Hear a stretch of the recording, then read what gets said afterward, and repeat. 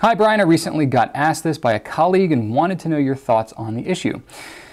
Is it less expensive, more expensive, or approximately the same expense to own and use a fountain pen versus a rollerball pen or a Pilot GT, G, G2 or something similar?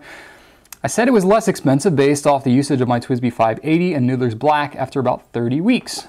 I know it's dependent on a lot of different variables, so we assumed a rollerball lasted two months and that the fountain pen needed refilled biweekly.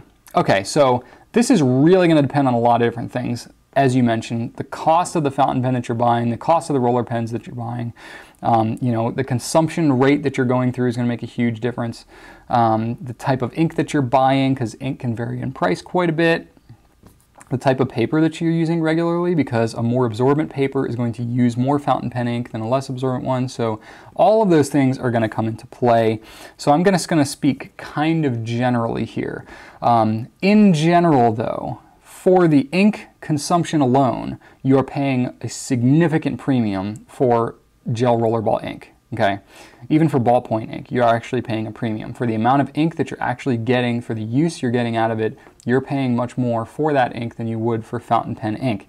Now that said, you have the investment of the pen, whatever cleaning supplies, your time, and all that kind of stuff. So there's a reason that fountain pens are not the most dominant used writing instrument today, right? There's a reason that ballpoints and gel rollerballs are a lot more popular they're just a lot more convenient, right?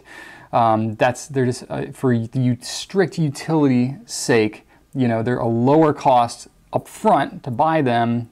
You can buy them in bulk, and they make them in bulk, which then makes them less expensive because they're making them in bulk and so on. So, as far as the pens go, it's like not a debate. Gel and ballpoints are cheaper. However, over the long haul, if you're sticking with a reliable fountain pen and using it for a long period of time, you will come out ahead.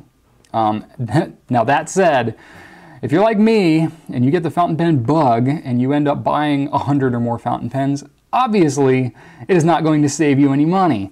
Um, same thing goes with ink. If you fall in love with ink or paper or whatever and you end up just getting a whole collection of it and you end up with 50 bottles of fountain pen ink that you could never use even if you wrote every single day for the rest of your life, well, that's just the kind of thing that, you know, it's like any other hobby. Like the more you get into it, it's not it doesn't necessarily become strictly for the cost savings, but if that is your goal to strictly just save money on writing, you can do that with fountain pens. Yes, absolutely you can.